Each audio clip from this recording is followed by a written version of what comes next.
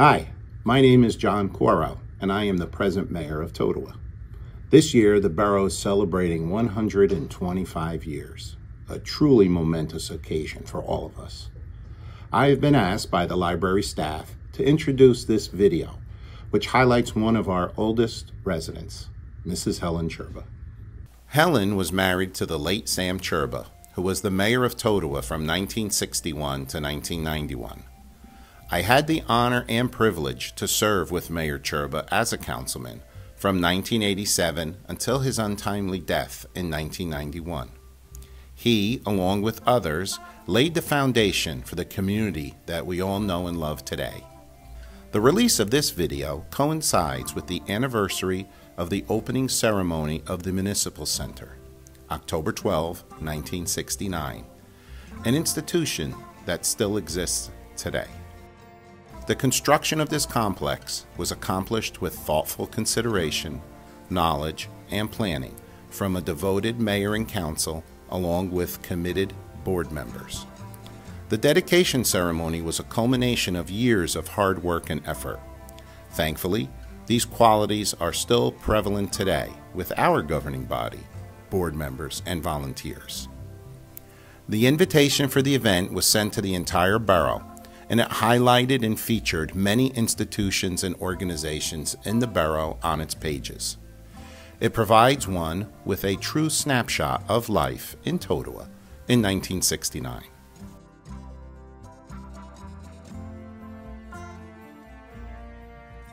I am proud to say that I am a lifelong resident of Totowa. I grew up on Elizabeth Place, went through the Totowa school systems, and graduated from Passaic Valley High School. Together with my wife, Mary Grace, we raised our two children in the borough. I am currently serving my seventh term as mayor. Our present council and dedicated board members and volunteers continue to carry forward the beliefs and convictions of our predecessors to make Totowa a safe, affordable, and warm-hearted community. It gives me great pleasure to introduce the video that not only highlights an amazing woman, it also provides us with a glimpse into the history of our beloved community. Happy 125th anniversary, Totowa. Well, I'm Mrs. Samuel Cherba, and my husband was a mayor in town for 31 years. And here I am at 103 still in my beloved Totowa.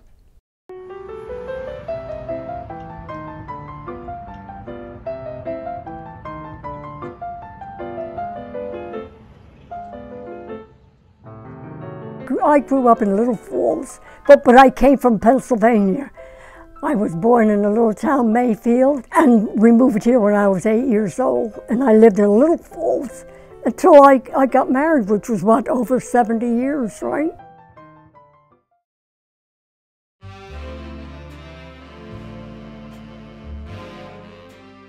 I met him where he worked. He was an engineer and, and um, uh, Mack Molding in Wayne. At Christmas time, they always had a party, and, and, his, and his boss, he got us sort of together. And after that, he used to come around, and then we started to date. It was very romantic. Well, when we, when we got married, we bought that house on Harding Avenue and we moved in after our honeymoon.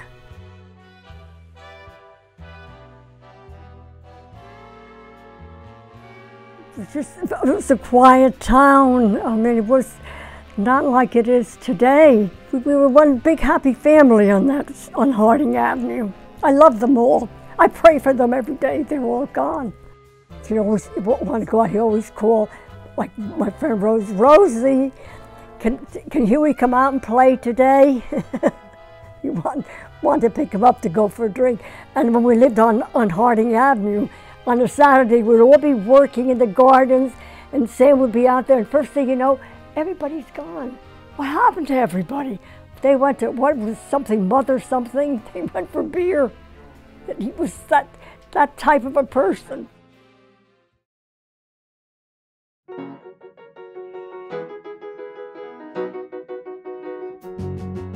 Well, I don't think he ever thought about getting into politics, but I remember we were we were fix, fixing after we moved here. We decided to fix the basement, and he had Jack Maskley. So, and they needed somebody to run on the Republican side for mayor, and they seemed like could I guess could get anybody because this town was a Democratic town. So he was kidding them, and he said, "Yeah, I guess I." I'll have to run. And they really took it, maybe he really meant it. And that's how it happened. And he was running for mayor. They always campaigned, but they went to all the, all the homes. That's how he got in. He went to all the homes, got to know everybody. And you know, and sometimes the ones that were running with him, they, he would see signs on the house, be a Democratic sign, and he'd say, well, we have to go in this house. The guy would say, what do you want to go in there? They're Democrats. That's what we want to go. We want to go meet the Democrats. And, and he got in. It was a surprise. But he ran a good campaign. He loved people. He made friends in no time at all. They would have picnics and things with the families. They'd always have him come there. He met so many. He met so many of our people, even the kids. Hi, Mayor Sam. Hi, Mayor Sam.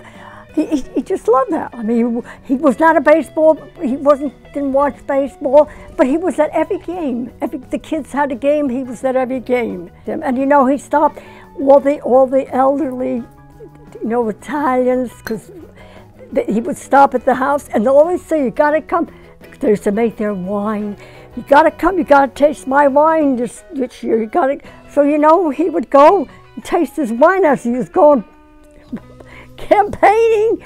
Sometimes he'd come home, he was very happy with the wine that he drank. I mean, I remember some neighbors, they would have no argument and they'd call him, you know, he you know, he would, you know, guess talk to whatever, they probably had a drink and then they were happy they shake hands, and, and he, we made, did a lot of marriages here in town.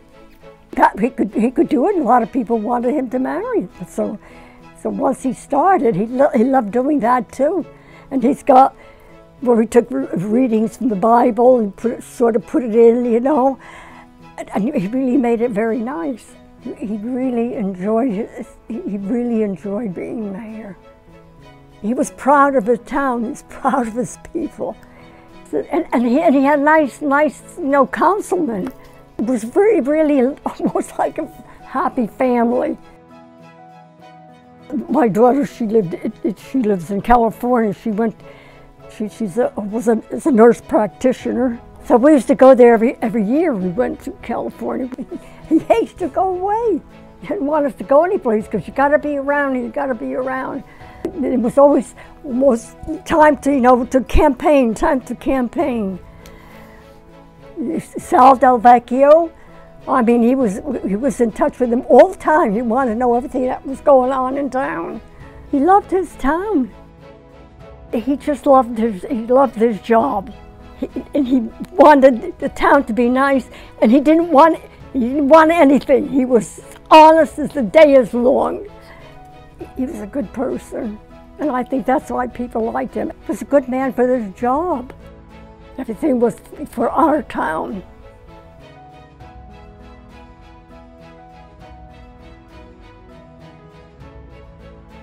I never worked. After I got married, I never worked. I had to learn how to cook, so I stayed home. When he was going to run, he, he, because he said, you know, you'll have to go to meetings and things. I said, I know. And that's what happened. After that, I had to make a life of my own. He was out a lot because he was always having, especially in the beginning, there were so many meetings. And you, you get to do these things after a while.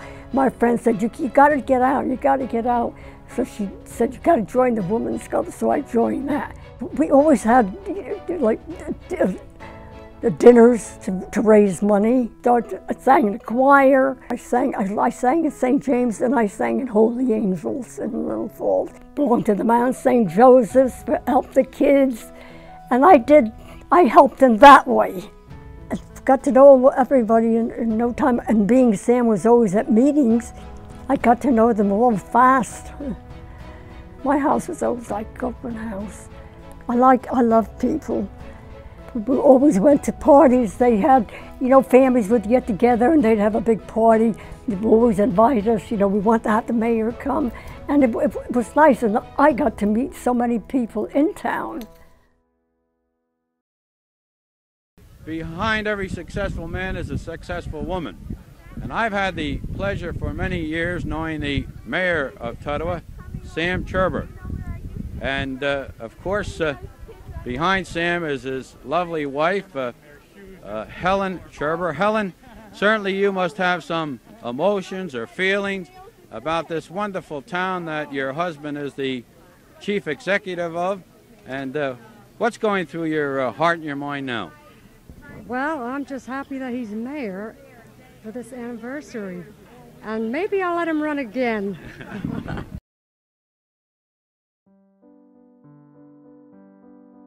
I get up in the morning like 7.30, I say my rosaries, and I watch the Mass at 8 o'clock on EWTN. And I still, I can't see that good, but I still do some cooking. You know, I say I'm going to start, you know, having my friends come up, come here for, for, for you know, breakfast. Just got, got a lot of nice people. I, I go to, to, to St. James. The pastor, he's got nice, there's that wonderful pastor now, Father Mancini. He comes once in a while, he brings me my communion. And I love my house. It's, oh, it's, it's, you know, it's not that big, it's just, and I love this room. I love being out here. The sun comes out early in the morning and stays all day. I guess that's what makes me happy.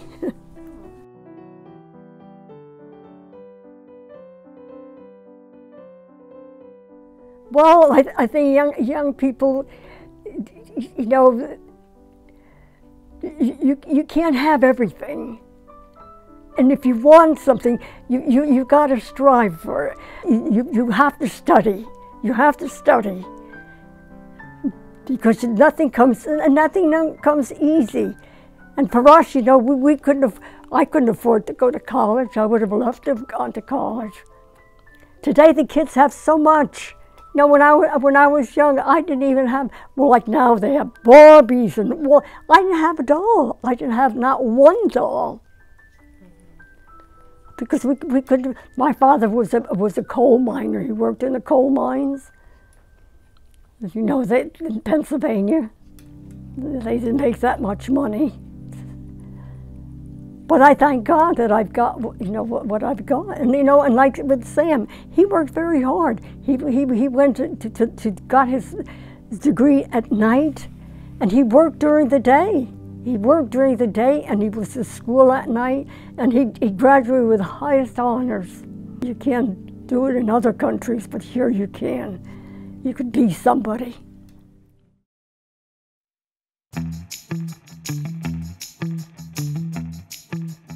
Well, the total pool, that was during his administration.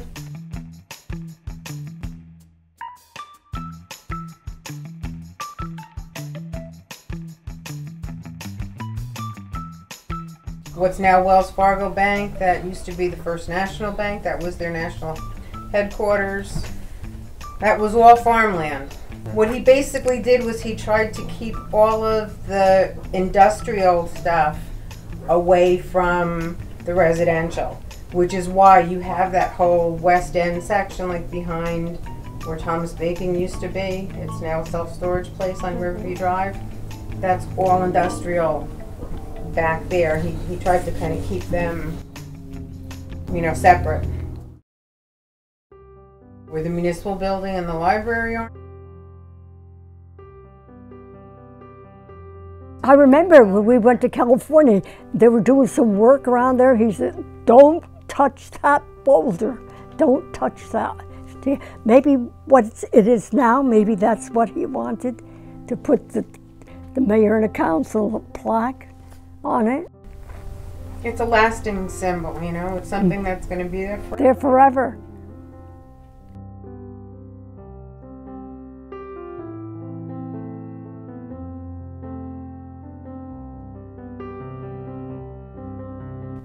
Wanted a library. Be- because Sam, he went to school at night. So, so, he, so he was in the library all the time. And that's why when he came here and they had that little library, that was why he wanted a library. He worked hard. He was just smart. He was really, really smart. When I see all these things that the, the, he worked on these on these drawings and all, oh my God! Just to, to design something, you know, and to work it out. And so many times when they started, sometimes something would happen to the press. He would, they'd call. He'd get out of bed three o'clock in the morning, down to the shop and see what's wrong with that press. He's busy all the time downstairs, designing things. Our basement, one part of it is his room, and he's got a he's got a um, mold mold there, and he did all these samples and things there. Okay. And he would be downstairs like for hours, you know, if something decided he would try something, and he would be downstairs. He did the powder boxes for Avon. He, he did some whistles, and I, I, remember he brought them. I think I guess it was to the to the mayor where they had a meeting. I think I said to him, "Take those things home. You want to give them to the kids? They drive you crazy." these whistles. He was a good person. He was a good, the old stock. We don't find people like that anymore. You would have loved him. He, he just loved what he was doing. He just, he loved, he loved being mayor and he loved his, his, his job. He was a good father. He loved his kids, his grandkids. And we had so many nice friends. We had was, was just so nice. He had a good life. He enjoyed every minute of his life.